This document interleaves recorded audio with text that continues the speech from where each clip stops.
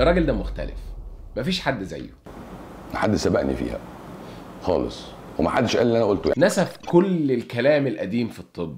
الكلام المتخلف اللي عاف عليه الزمن. كلام الدكاترة اللي زهقونا بشرب المية. 3 لتر في اليوم. 3 لتر مية ليه؟ أنا بشرب شجرة موز. والخضار اللي قرفونا بيه خيار وسلطة وخس وحاجات ملهاش طعم ولا ريحة.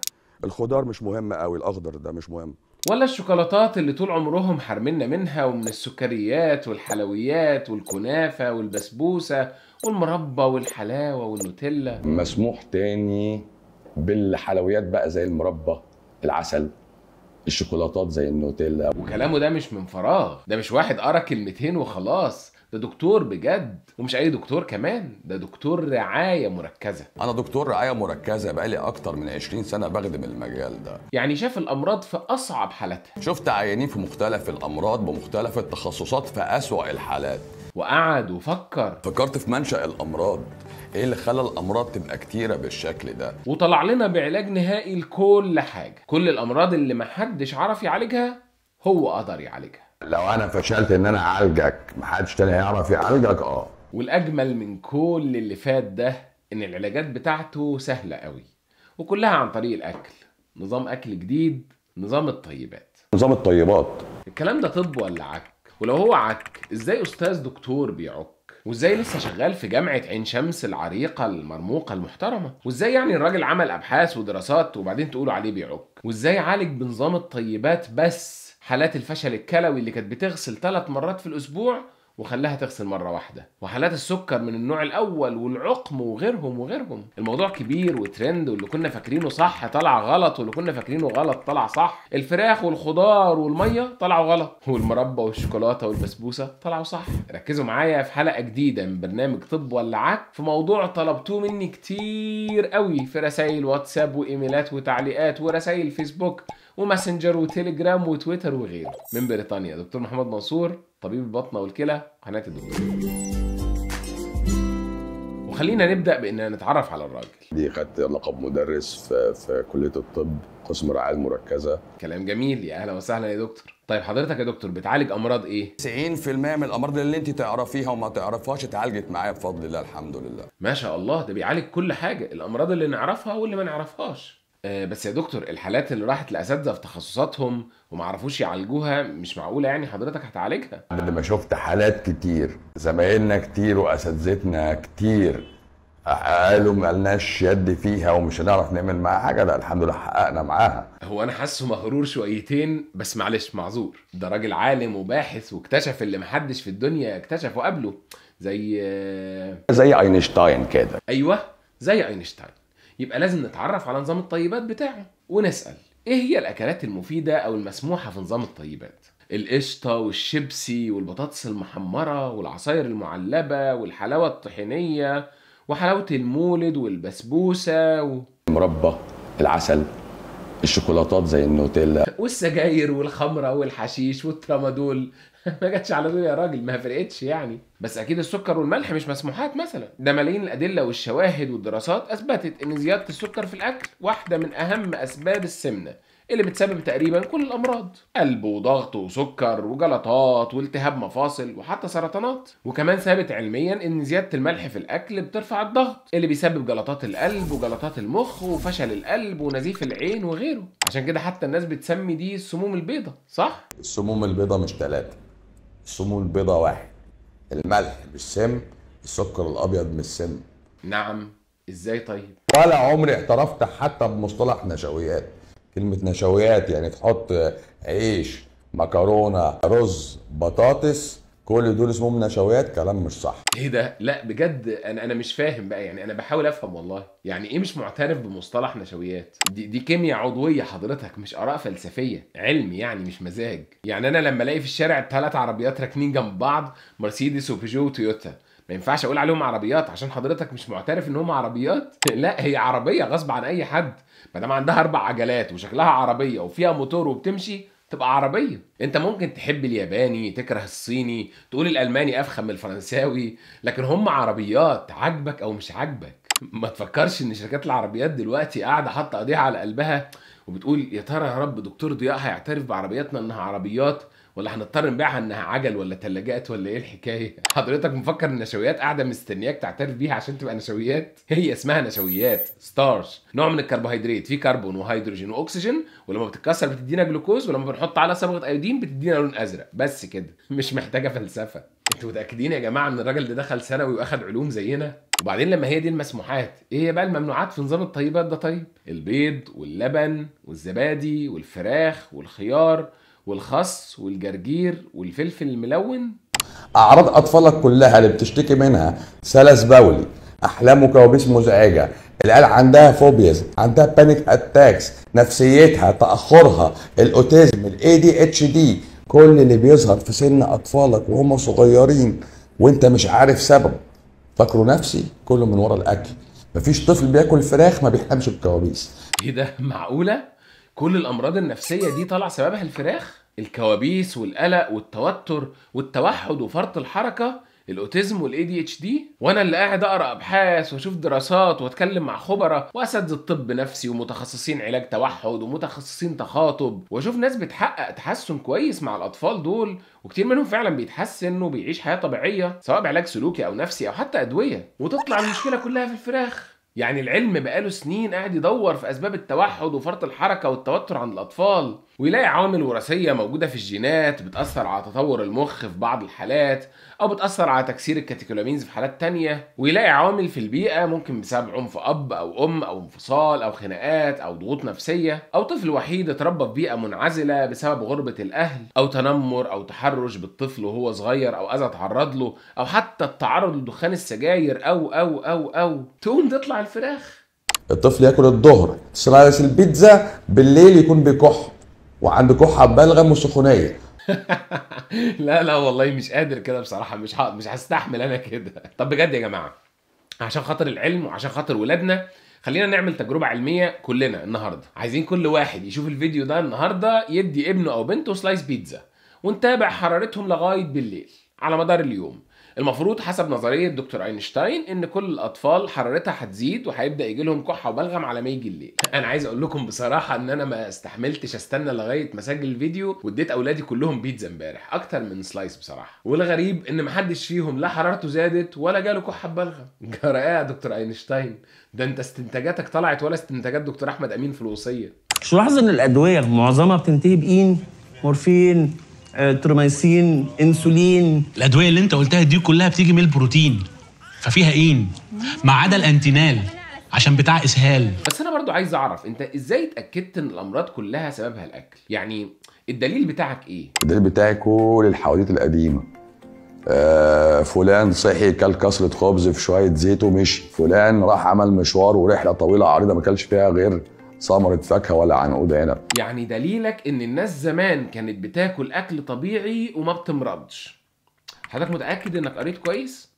أصلا أنا عادي قريت بصراحة إن الناس زمان كان كتير جدا بيجي لهم سوء تغذية وكان بيجي لهم أمراض كتير وكانوا بيموتوا بيها. أمراض أصلا لما بتجيلنا دلوقتي بنعالجها بسهولة بحبيتين مضاد حيوي. وبنعيش عادي بعدها وحتى ما بقيناش بنعتبرها أمراض خطيرة. وحكيت الكلام ده بالتفصيل في فيديو تاريخ تطور الطب. فده مش دليل إن أكلهم كان سبب لانعدام الأمراض مثلا. ولا عندك دليل أقوى؟ تلاقي سيدنا نوح قعد بنى سفينة في ألف سنة وعمره ما قال لهم ادوني الأوميجا 3 من على ال... مع الكومودين. ما حصلش. امم تصدق؟ لا فعلا دليل قوي. يعني سيدنا نوح بنى السفينة في ألف سنة وعمره ما قال لهم هاتوا الأوميجا 3 من على الكومودينو أه معلش ممكن أعرف حضرتك جبت المعلومة دي منين؟ آه معلومة الأوميجا 3 والكومودينو؟ يعني مكتوبة في القرآن ولا في الإنجيل ولا في التوراة؟ ما هي دي الكتب اللي أنا أعرفها وصلت لنا فيها قصة سيدنا نوح. وعلى حد علمي إن مش مذكور في أي كتاب منهم سيدنا نوح كان بياكل إيه وهل كان بياخد أوميجا 3 ولا لأ وهل كان عنده كومودينو ولا لأ وهل كان بيتبع مثلا نظام الطيبات بتاع حضرتك ولا لأ. لا لا لا, لا ده أكيد كلام فاضي وأنت شكلك بس كنت مصطبح أو مش مركز أو متقل شوية في نظام الطيبات بتاعك بالليل فيعني أثر على تركيزك قدام الكاميرا. أكيد عندك دليل أقوى. دليل حقيقي على إن النظام بتاعك ده اللي أنت بتجربه في الناس المريضة اللي بتتعلق بقشاية دي ووثقت فيك دي أكيد عندك دليل أقوى صح؟ قول لي بصراحة جبت نظام الطيبات ده منين؟ يعني عرفت منين إن الفاصوليا واللوبيا والفول مضرين للإنسان؟ وإذ قلتم يا موسى لن نصبر على طعام واحد. آه فادع لنا ربك يخرج لنا مما تنبت الأرض من بقلها وقثائها وفومها وعدسها وبصلها. وبصلها. آه خالص لا أستاذ. تستبدلون الذي هو أدنى بالذي هو خير؟ آه بس هو أدنى أدنى مش يعني أدنى الطعام. ما آه. قالش أدنى وأفضل. أدنى صحيح. الطعام. هذا يعني هو أدنى الطعام. موجودة طبعا. تمام وضربت طبعاً. عليهم الذلة والمسكنة. آه أوكي. يعني دكتور أينشتاين اكتشف إن ربنا لم بني إسرائيل إن هم بيطلبوا الفول والعدس بدل المن والسلوى فبدل ما يتعلم الدرس مثلا إنه المفروض يقبل الخير اللي ربنا اختاره له ما يعملش زي بني إسرائيل لا. هو قال لك دي الآية دي نازلة علشان نعمل منها diet. وبناء عليه يبقى اللوبيا والفاصوليا والفول مضرين واللي ياكلهم تضرب عليه الذلة والمسكنة يعني يجي له المرض طيب يا دكتور أينشتاين ما تكمل قراية القرآن بقى وتظبط ال diet بتاعتك. ما هو ربنا نهى سيدنا آدم عن شجرة التفاح. يبقى التفاح مضر واللي ياكله يخرج من جنة الصحة ويعيش في المرض. ونهى بني إسرائيل عن صيد السمك يوم السبت. يبقى السمك مفيد طول الأسبوع لكن يوم السبت السمك مضر ويجيب المرض. انت بتفهم القرآن إزاي بس؟ ده قرآن يا عم ده كلام ربنا ده مش كتاب وصفات الشيف شربيني. بس ثانية واحدة بس يعني دكتور أينشتاين اللي إحنا كنا فاكرينه عمل أبحاث ووصل لعلوم محدش يعرفها طلع في الآخر فتح المصحف وقرأ آيتين ومخه سوحه ففسرهم تفسير غلط. وبناء عليه راح مطلع من دماغه نظام غذائي وشغال بيه وبيعالج بيه الناس. وكمان راح ملبس عليهم كلمتين علميا وطبيا غلط. زي مثلا إيه؟ إن الفول هو سبب أنيميا الفول. وإن الفول هو سبب القولون العصبي. مع إن أي دكتور هيبقى عارف إن المعلومة الأولانية غلط تماما وإن اسم أنيميا الفول ده أصلا اسم غلط اسمها G 6 PD وأسبابها حاجات كتير جدا غير الفول وإن المعلومة التانية ناقصة جدا وإن بعض الناس بس هم اللي بيجي لهم اضطراب في القولون لما ياكلوا أكلات معينة من ضمنها الفول بنسميها ال FODMAP.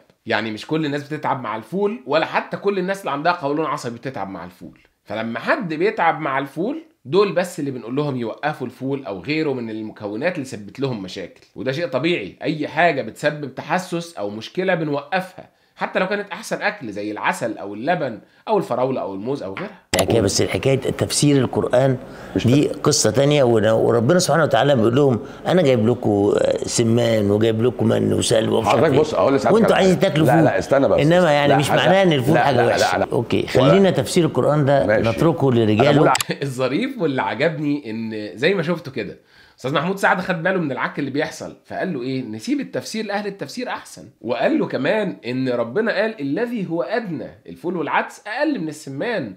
لكن ما قالش إنه أكل مضر مثلا أو بيجيب أمراض. لكن دكتور أينشتاين مصر يفسر على مزاجه ومصر يكمل عشان نظام الطيبات بتاعه يمشي. لا لا لا لا.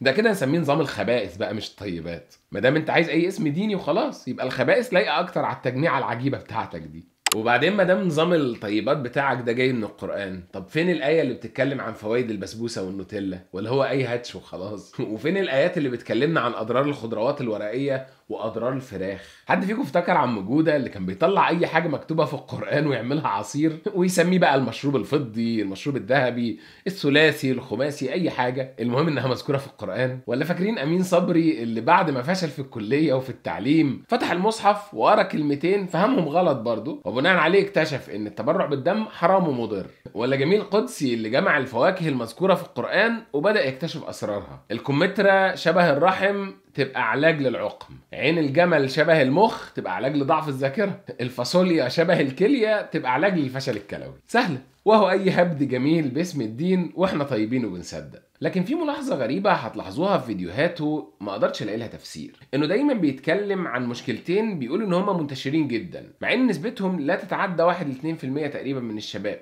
السلس البولي وتأخر البلوغ. وكمان مركز على إن الفراخ هي سبب كل الأمراض والمشاكل. بدون ما يقول أي دليل على الكلام ده. ومع إن الناس كلها بتاكل فراخ وما عندهاش مشاكل. أنا قلت أسأل صديقي برد أحسن ذكاء صناعي في العالم. وكانت إجابته إن ده يا إما بسبب اضطراب عقلي أو مشكلة نفسية يا إما إن الشخص ده عانى من حادثة أو صدمة وهو صغير وكان لها علاقة بالفراخ أثرت على تفكيره وعلى تصوره للعالم. صدمة وهو صغير فراخ سلس بولي تأخر بلوغ مش فاهم. طيب نظام الطيبات وطلع كله خبائث وكله عك. لكن برضه ده دكتور يا إخوانا يعني يمكن لما يعالج الأمراض بقى تكون الناس بتتحسن مثلا مش معقولة تكون علاجات وهي كمان عك. معظم الأمراض اللي حضرتك تعرفها وقفنا لها الدواء من عند السكر والضغط ارتجاع المريء قولون عصبي. السكر. الاثنين. النوعين النوعين. النوعين. نوعين آه. عالجته إزاي؟ بالغ- بالأكل. امتنع عن واحد اثنين ثلاثة وبطل الدواء. خلاص. بيوقف الإنسولين لمرضى السكر من النوع الأول وبيعالجهم بالأكل. طب بص أنا طبعا بعالج مرضى سكر من النوع الأول كتير وعمري ما سمعت إن في حد في الدنيا عالجهم بدون دواء. بس مش مهم كلامي. رحت راجعت الأبحاث والأخبار والتاريخ في العالم كله لقيت إن آخر مرة حد عالج مريض سكر من النوع الأول بدون إنسولين أو مضخة أو زراعة كان قبل سنة 1919 وكانوا دكاترة أمريكان دكتور ألين ودكتور جوزلين كانوا بيسموها حمية المجاعة starvation diet. كانوا بيمنعوا الأطفال من الأكل تماما تقريبا. مش يقولوا لهم كلوا كذا وما تاكلوش كذا. كانوا بيمنعوهم من الأكل تقريبا نهائيا. وكانوا الأطفال يا عيني برضه بيموتوا خلال شهور لسنوات بعد ما يتحولوا الجلد على عظم فلو حضرتك عالجت طفل واحد بس من السكر من النوع الأول ابعت الحالة دي لأي مجلة علمية محترمة وهتاخد نوبل بكرة. ده مش هيستنوا ميعاد حفلة نوبل السنة الجاية عشان يدوك الجايزة ده هيدوها لك بكرة. بس مش مرضى السكر بس هم اللي اتحسنوا معاه. ده بيحكي عن أطفال راحوا له بعد ما داخوا مع غيره. طفلة كمان اسمها فريدة عندها سنة عندها mutational problem أو طفرة جينية مش متسمية لأن هي أول case هم يشوفوها. عندها مشكلة في الامتصاص على مدار الأمعاء الدقيقة كلها بداية من الاثنى عشر. إسهال بصفة مستمرة. تم عرضها عليا الحمد لله من شهر. كويس. البنت جت النهاردة للعيادة سنانها طلعت أربع ضروس وسنة. طولت سنتي ونص. شعرها تقل وكثافته زادت طوله زاد. بدأت تتكلم. دلوقتي بقى في كونتاكت مع مامتها. مش عارفين يسكتوها بدأت تقعد لوحدها. اتجوزت وخلفت أربع عيال خلصت ماجستير ودكتوراه فتحت شركة استيراد وتصدير ودلوقتي راكبة مركبة فضائية وطالعة على المريخ.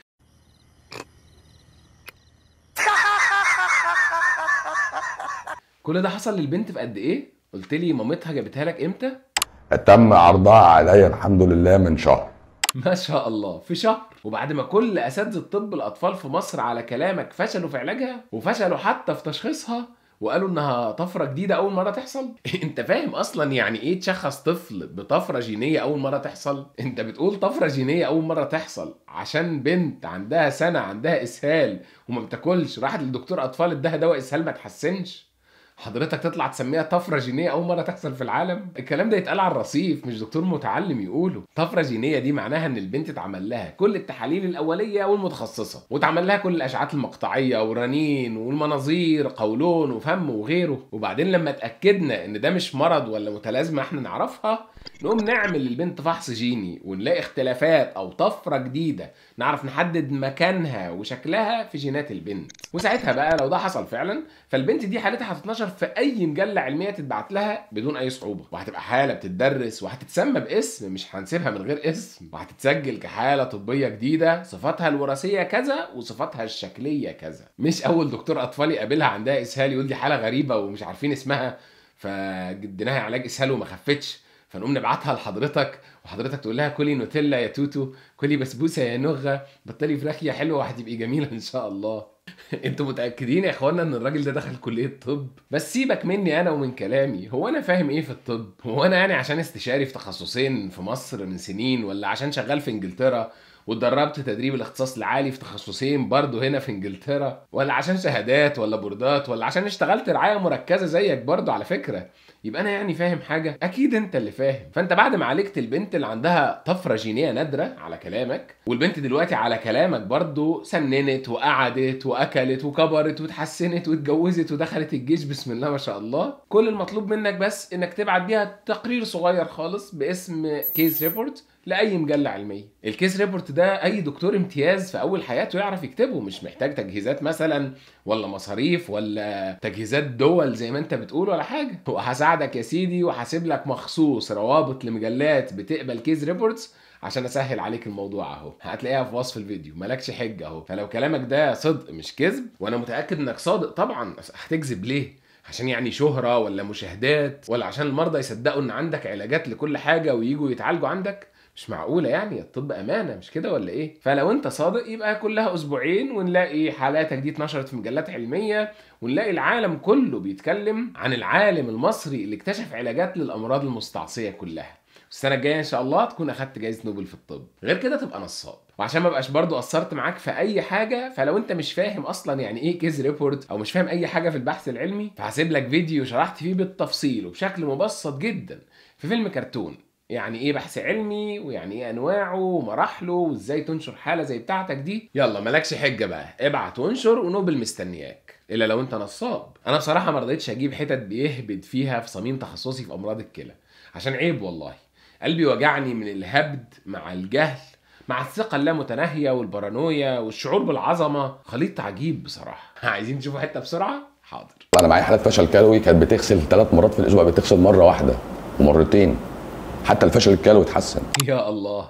نفس اللعبة القديمة اللي سبقوا فيها نصابين كتير وبيضحكوا بيها على الغلابة. بيشتغل على مرضى الفشل الكلوي. الناس اللي خلاص كليتينهم مش شغالين نهائي وبيروحوا مراكز الكلى يغسلوا دمهم ثلاث مرات في الأسبوع على مكن الغسيل. لما مريض منهم بيكلم دكتور فرانكشتاين ما هو خلاص بقى ما طلعش أينشتاين ولا حاجة. يقوم دكتور فرانكشتاين يبدأ معاه نظام الخبائث بتاعه. ويبدأ المريض ياكل بسبوسة وشوكولاتة وجبن وفواكه وعصاير معلبة. طبعا أي دكتور كلى سامعني فاهم يعني إيه جبن وفواكه وعصاير معلبة لمريض بيغسل كلى. وإزاي إن الحاجات دي ممكن تموته في لحظة بسبب جرعة البوتاسيوم اللي في الشوكولاتة والفواكه؟ أو على الأقل تجيب له أعراض تخلي عيشته لا تطاق بسبب الفوسفور العالي اللي في الجبن والحاجات المعلبة. المهم بعد ما يبدأهم على نظام الخبائث يقول لهم بس من النهاردة هتغسلوا غسلتين في الأسبوع بدل ثلاثة وممكن كمان غسلة واحدة بدل ثلاثة طبعا المريض المسكين يفرح وينبسط ويدعي للدكتور الجميل الطيب اللي أنقذه من غسيل الكلى. والمسكين مش عارف إن قلة الغسيل دي بتعلي مستوى السموم في جسمه وإن جسم الإنسان محتاج على الأقل 12 ساعة في الأسبوع على ثلاث جلسات كل جلسة أربع ساعات عشان السموم اللي في الدم تخرج. وإن دكتور فرانكشتاين ده كده بيموته بالبطيء وبيأثر عمره وبيجيب له كل مضاعفات مرض الكلى بس بدري. بيدمر له عضلة القلب وشرايين المخ بدري. بس مش مهم المهم إن المريض فرحان. وبيدفع. وكمان المريض المسكين ده ممكن يطلع معاه بعد كده في لايف يقول إنه بفضل دكتور فرانكشتاين قلل جلسات غسيل الكلى. ما لو على كده يا حبيبي أنا من بكرة ممكن أروح لكل مرضى غسيل الكلى بتوعي وأقول لهم من بكرة نغسل غسلة واحدة في الأسبوع أو غسلتين في الأسبوع. واتاخد بالأحضان. بس ابقى اتسببت في إنهم كلهم كده يموتوا بدري أو يجي لهم مضاعفات بدري. ممكن على الأقل عشان خاطري تهبد بعيد عن مرضى الكلى؟ زي الاميلويد ما دي مشاكل تغذوية. زي فابري سندروم. متلازمة فابري. الحاجات دي كلها أنا عالجتها على فكرة. بسم الله ما شاء الله. عالجت أميلويد وفبري بالأكل ومن غير علاج؟ أنت عارف إن الحالات دي كتير منها مش بتخف أصلا بالعلاج؟ وبعضها بيموت بفشل القلب أو فشل الكلى لو ما تشخصش بدري؟ أنت عارف إن علاج مرض فبري ثمنه فوق ال 300 ألف دولار في السنة الواحدة للمريض؟ وإن المريض بيمشي عليه العمر كله؟ أنت عالجتهم من غير دواء؟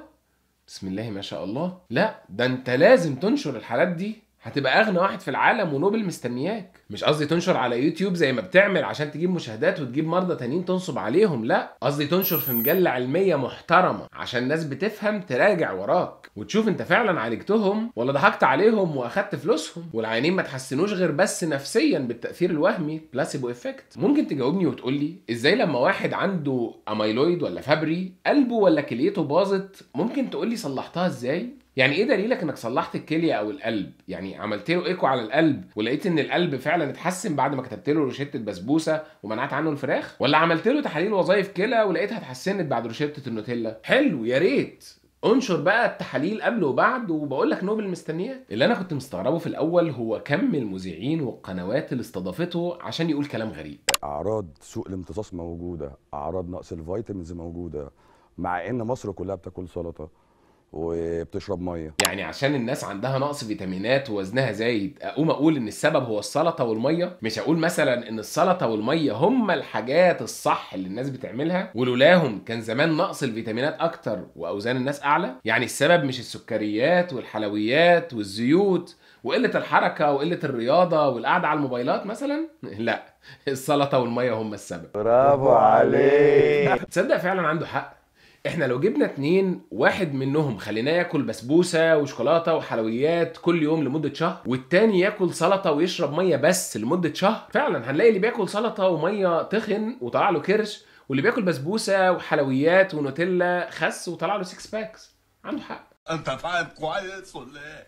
فاهم كويس؟ لكن المذيع المحترم اللي ريح قلبي بصراحة هو أستاذ محمود سعد. وأنا شخصيا بصراحة بحترمه وبحترم ثقافته ويمكن من أكتر المذيعين ومقدمي البرامج اللي بحترمهم في مصر. بعد ما استضافه في الفيديو اللي شفنا حتت منه أستاذ محمود سعد عمل فيديو تاني يحكي فيه حقيقة اللي حصل. وخلينا نسمع من أستاذ محمود سعد نفسه وهسيب لكم رابط الفيديو بتاعه في وصف الفيديو اتفرج عليه براحتك. حصل بيننا تشابك في الحوار لأنه أنا توقفت عنده عن عند إنه قدم بحث يا دكتور.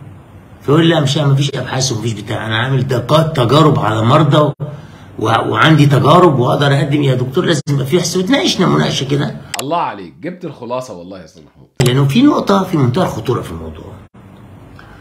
ودي أنا قلتها له في التسجيل وبره التسجيل. إنه ما ينفعش ابدا إن أنا أجرب أو أقول لمريض وقف الدواء بتاع الضغط وقف الدواء بتاع السكر وأنا هعالجك بالاكل. إلا لما يكون عندي دراسة وجربناها على الأرانب وعلى الفيران وعلى البني آدمين اللي بيتطوعوا وعلى كذا ونقر ده ونطلعه. إنما عشوائي كده ده ما ينفعش ده ما سمعتوش خالص في العالم بصراحة. يعني دي في منتهى الخطوره إنك ممكن توقف دواء السكر الراجل يجي له غيبوبة. إيه الجمال ده يا أستاذ محمود؟ قلت كل حاجة والله. لا وشوفوا الجمال لما أستاذ محمود سعد بيشرح له حتى في الفيديو الأولاني اللي استضافه فيه زي ما يكون بيشرح لطالب في أولى إعدادي من العيال اللي عندهم مشاكل في دماغهم وفاكرين نفسهم عباقرة. عارفين العيال اللي بنشوفهم كل شوية على صفحات المواقع التعبانة. تلاقي طالب في ثانوي يخترع قطار يسير بسرعة أكبر من سرعة الصوت. طالبة في آداب الفيوم تخترع صاروخ فضائي. وغالبا الحاجات دي بتبقى ترند وبنضحك عليها يومين وبتروح. فأستاذ محمود سعد قاعد بيشرح له زي ما بنشرح للعيال دول إن الدنيا مش بتمشي كده يا حبيبي. اسمعوا. دي المفروض تعمل لها ورقة بحثية عشان تتنشر في المجلات الطبية العالمية. ودي فعلا كبرت في نظري وفي نظر متابعينك زيادة يا أستاذ محمود. في أي بلد محترمة في العالم بتخاف على ناسها وبتحترم مرضاها لازم نقابة الأطباء ووزارة الصحة تفتح تحقيق فوري في الكلام ده. يعني الجهات المسؤولة تشوف إيه الحكاية. فأنا كنت متصور انه الدكاترة نقابه الأطباء هتبعت تقول له تعالى يا دكتور اتفضل عندنا قول لنا أنت بتعمل إيه. ونشوف الحكاية دي إيه. لأن هو أنا قلت له الكلام ده هو اعترض عليه. قلت له أنت ما بتعملش حاجة جديدة أنت بتعمل تغذية علاجية. التغذية العلاجية دي موجودة في العالم كله بقالها سنين وشغال فيها دكاترة كتير قوي والحمد لله. فعلا لقيت أخبار كتير عن إن عيادته اتقفلت وأخبار عن إن جامعة عين شمس بتنهي التعاقد معاه. كلام محترم من جامعة محترمة. لكن لسه كمان لازم نشوف نقابة الأطباء بتحقق في الموضوع لأن أرواح الناس مش لعبة والمريض بيتعلق بقشايه ولو مات يبقى ذنبه في رقبة كل اللي شاف اللي بيحصل وكان عارف كويس إنه نصب وسكت. إحنا ممكن نقعد نتفرج على العك ده لحد بكرة ومش هنخلص. واحد قاعد لايف على يوتيوب 24 ساعة في اليوم سبع أيام في الأسبوع. بيعمل live كل ساعتين. اللي قدامك دي قناة واحدة من قناتين بتوعه على يوتيوب وفي القناة دي لوحدها بيطلع ثلاث مرات live في اليوم وفي كل live غلطات وعك بالجملة. تقول لي طب هو ليه بيعمل كده؟ أقول لك أنت قدام واحد بيدور على الشهرة بكل الطرق ولأنه ذكي وعارف طريقه ومذاكر كويس خلطة الشهرة السحرية وماشي على الكتالوج فبدأ على طول ينفذ الخطوات زي الكتاب ما بيقول. أول خطوة. خالف تعرف. لازم تقول حاجة جديدة وغريبة ومحدش قالها قبل كده. حتى لو انت عارف 100% انها غلط مش مهم. المهم انها تفرقع والناس كلها تتكلم عنك. يعني أنا أصلا اول واحد قلت ان الخضار ده ممنوع أصلا. ما يتاكلش مش للبني ادمين أساسا. تاني خطوة. سمع الناس الكلام اللي هم بيحبوه. قول لهم النوتيلا حلوة البسبوسة مفيدة الخضار يع اللي عايز يخس ياكل سكر وبطاطس براحته فرح الناس. تالت خطوة احكي قصص ناس اتحسنت معاك. واحكي عن الست اللي ما كانتش عارفة تحمل رغم إنها اتجوزت سبع مرات. لكن لما جات لك العيادة ويا سبحان الله مع إنها خلاص كانت اتطلقت وما بقاش معاها راجل لكن حملت في توأم عندك في العيادة. معايا 12 couple حمله كان عقم. ومفيش مانع تطلع كام واحد من دول معاك live في فيديوهات. طلع معاك مثلا واحد كان مشلول وعاجز ومعاق وبمجرد إنك تحط إيدك على راسه يقوم يجري زي الحصان. الموضوع ده هيكلفك شوية بس مش مشكلة. اصرف دلوقتي هتلم أضعاف قدام. رابع خطوة ابعت لكل القنوات والمذيعين عشان تطلع معاهم سواء بفلوس أو من غير فلوس. بقول لك اصرف دلوقتي على الشهرة ما تستخسرش. بكرة الفلوس هتجيلك أضعاف. خامس خطوة ودي مهمة جدا دخل الدين في الموضوع بأي شكل. الناس بتصدق أي حاجة عليها ختم الدين. سمي الدايت بتاعك الطيبات. دور على آيتين في القرآن والزقهم في كلامك بأي طريقة حتى لو مش راكبة. المهم تخلي كلامك ما يبقاش كلامك انت. ده كلام ربنا. هنعترض عليك؟ يبقى هنكفر بقى والعياذ بالله. طب أقول لك رأي تاني رأي ربنا. آه اتفضل. آه، وإذ قلتم يا موسى لن نصبر على طعام واحد. آه. طب أنا أصدق مين؟ ال- الكتالوج الإلهي ولا الكتالوج المصري؟ ال- بدأت تطلع لي أدلة قرآنية أنا ما كنتش عمري ما شفتها. وخلاص فأنا بقيت مستقر نفسيا بعد كده. سادس خطوة. اللي يقول لك فين الدليل على كلامك؟ أو أنت جبت الكلام ده منين؟ قول له لا مفيش دليل علمي. ده فتح من ربنا. معنى شريف قرآني يهب على القلب ويتلقفه العقل ولا يعرفه الدارسون. سابع خطوة نقول مبروك. كده ضمنت الشهرة برافو عليك. نجحت. اقعد وارتاح ولم الفلوس.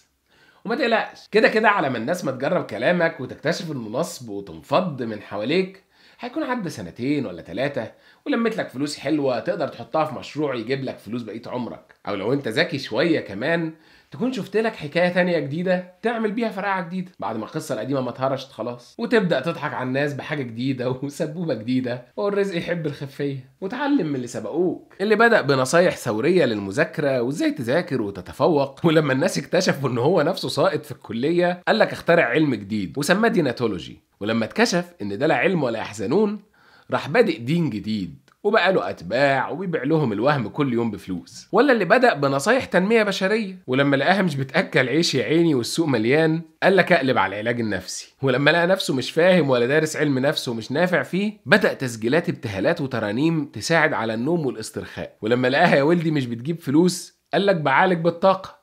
ودي اللي دايما بتنجح في الآخر.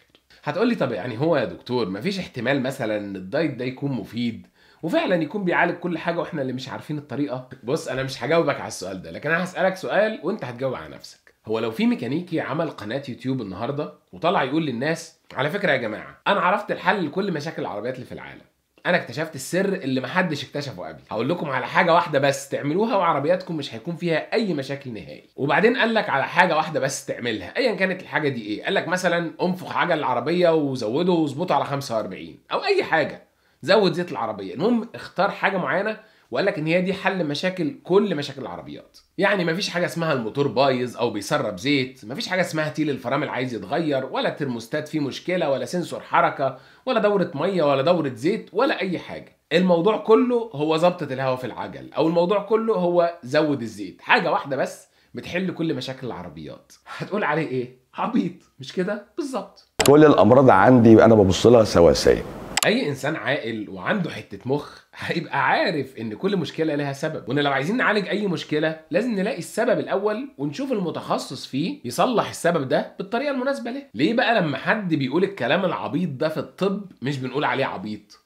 مع إن التعقيد اللي في خلية واحدة في جسمك أو حتى في نواة خلية واحدة في جسمك أعقد من كل الأجهزة اللي في كل العربيات. إزاي هو نوع diet معين بيصلح كل حاجة؟ وبالذات لما يكون ال diet ده أصلا مضر وغلط. أنت أصلا لو بصيت على diet الخبائث ده هتلاقي إن كتير من الحاجات اللي هو بيسمح بيها هي في الحقيقة مضرة لأكتر الناس. زي السكر والحلويات بأنواعها.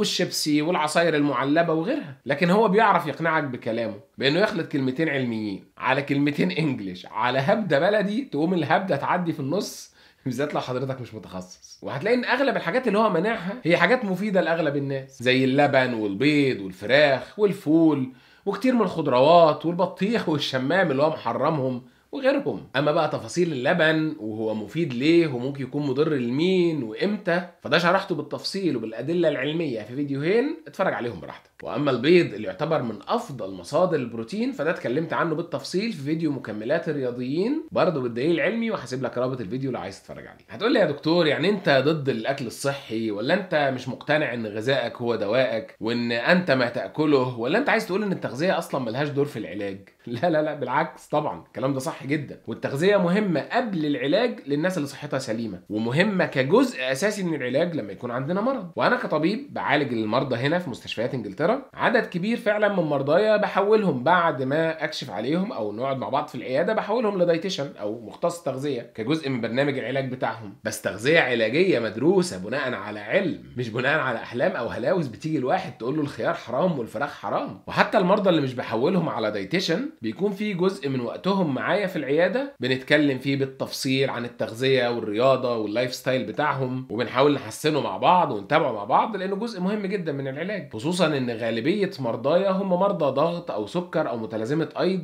والنزول الوزن مهم جدا في علاجهم. هتقول لي طب ليه يا دكتور في ناس بتتابع الراجل ده؟ اولا زي ما أنت شايف أسلوبه مقنع وواثق جدا في نفسه والثقة دي للأسف بتطمنك وبتقنعك حتى لو هي غلط. ثانيا وده مهم لأن في كتير جدا من الحالات المرضية والمشاكل المنتشرة عندنا سببها أصلا نفسي. فلما المريض اللي عنده أعراض معذباه ومطلعة عينه وسببها نفسي يروح لحد يقنعه بأي حاجة ايا كانت إيه الحاجة دي ما دام عرف يقنعه يبقى المريض هيتحسن لأن نفسيته اتحسنت. وده جزء من التأثير الوهمي أو البلاسيبو اللي شرحته قبل كده بالتفصيل. وعشان كده هتلاقي دكتور فرانكشتاين بيقول بكل فخر أنا معالج 712 حالة فايبروميالجيا طبعا. غالبا حالات الفايبروميالجيا هتتحسن معاك وهتتحسن مع أي حد يقول لها أي حاجة بثقة لأن مفيش مرض عضوي دي آلام سببها نفسي وبتعذب صاحبها أو صاحبتها. فالمريضة ما اتحسنتش عشان بدأت diet الخبائث ومنعت الفراخ لكن عشان اقتنعت إنها لقت العلاج المناسب أو الشخص المناسب تتعالج معاه. هتقول لي طب إحنا يا دكتور ما كناش نعرف الراجل ده أنت ليه بتتكلم عنه؟ أنت كده بتشهره. هقول لك عندك حق. لما أتكلم عنه في قناة وصفحة عليها الحمد لله فوق المليون متابع وهو عنده 16000 متابع يبقى أكيد أنا بعرف ناس بيه وهم ما كانوش يعرفوه من الأول. لكن اولا أنا بتكلم عنه عشان أوعي الناس وأحذرهم منه. لأن الشخص ده كل يوم بيسبب مشاكل وأمراض ويمكن وفيات اللي ناس بتسمعه فيبقى نحاول نلحق ننقذهم ونمنع الضرر عنهم بدري. ثانيا هو صحيح ما فيش حد لسه بيتابعه. لكن هو قاعد يطلع في قنوات كتير سواء مع حد محترم زي أستاذ محمود سعد جايبه عشان يشوف إيه الكلام العجيب اللي هو بيقوله ده أو زي قنوات كتير تانية بيدفع لها فلوس عشان يطلع ويحط رقم موبايله على الشاشة عشان الناس تحجز عنده. نوع من الدعاية في الطب ممنوع والمفروض ما يحصلش في دولة محترمة زي مصر. ثالثا والأهم لأن كل شوية يطلع لنا واحد يخترع حاجة ويعمل فرقعة ويبقى ترند الفترة وده إن كان مقبول في أي حاجة تانية فمش مقبول في الطب. فلما نتكلم عن دكتور فرانكشتاين ونفهم اللعبة ونعرف كتالوج الشهرة اللي بيشتغلوا بيه مش هنحتاج نتكلم عن كل واحد يطلع لنا بعد كده. رابعا بقى أنتوا جايين دلوقتي تسألوني طالع اتكلم عنه ليه؟ وانتوا بقالكم أربع شهور هاريني رسايل وتعليقات وإيميلات وواتساب وماسنجر بتقولي اتكلم عنه؟ خلاص طب أنا غلطان ومش هرد على رسايلكم تاني. سامعك يا اللي بتقول أنا حاسس يا دكتور إن أنتوا خايفين للراجل ده ياخد منكم السوق صح؟ يعني يا راجل يا طيب. هو لو افترضنا إن دايت الخبائث دي أو طريقته في العلاج نجحت أنا وغيري من الدكاترة إيه اللي يمنعنا إن إحنا نعالج الناس بيها بكرة وناخد فلوس إحنا كمان؟ يعني لو دايت الخبائث ده فيه أي خير ما أنا كمان أبدأ أعمل عنه فيديوهات من بكرة. وابدا اعالج المرضى بيه في العياده واكلم الناس عنه وكل حاجة. بالعكس هي دي طريقه تطور الطب. واحد يجرب حاجة وتنفع فالكل يستعملها. بس تنفع بجد مش تضيع الناس وتدمر صحتهم. خلاصة الكلام. أي دولة محترمة فيها واحد زي ده بيقول إنه بيعالج أمراض مستعصية ملهاش علاج في أمريكا وإنجلترا وألمانيا واليابان لازم الدولة دي تجيبه وتقعد معاه. تقول له ورينا بتعالج المرضى إزاي. وورينا الدليل إن هم خفوا فعلا من المرض. وحاجة من اتنين يا إما فعلا يورينا إنه بيعالجهم وإنهم بيخفوا ويثبت ده بالاشعاعات والتحاليل ساعتها الدولة تدعمه وتديله براءات اختراع وهتبقى الدولة دي من أغنى دول العالم. وهيجي لها المرضى من كل دول العالم يدفعوا لها مليارات عشان يتعالجوا. يا إما يطلع نصاب وبيضحك على الناس الغلابة. يبقى ساعتها مش كفاية إن عيادته تتقفل أو إنه ينطرد من الجامعة. لكن لازم يتحاسب قدام القضاء على المرضى اللي تسبب في تدهور حالتهم لما وقفوا العلاج. ولازم يتمنع من الظهور في أي قناة أو على أي شاشة ويمكن يدخل السجن لو طلع يستاهل. أشوفكم الفيديو الجاي. سلام عليكم.